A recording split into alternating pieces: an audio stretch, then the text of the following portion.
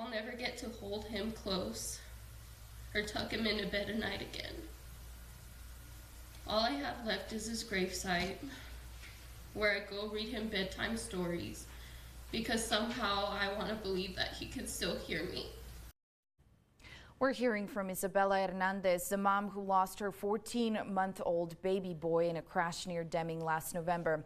The family says they have officially settled a $7 million civil lawsuit that was brought after the crash. The lawsuit was approved by the Luna County Commissioners.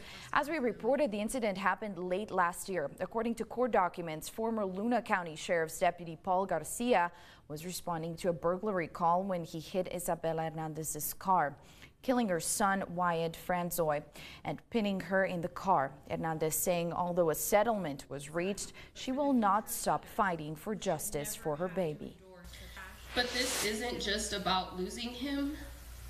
It's also the life I'm living now. Deputy Paul Garcia not only took my son, but also keeps taking from me every day I'm stuck in a cycle of doctor's appointments and medical treatments just to deal with the physical pain left behind. Deputy Garcia was terminated from the Luna County Sheriff's Department 11 months after the incident. Garcia is still facing charges for vehicular homicide and reckless driving. That trial is scheduled for August of 2025.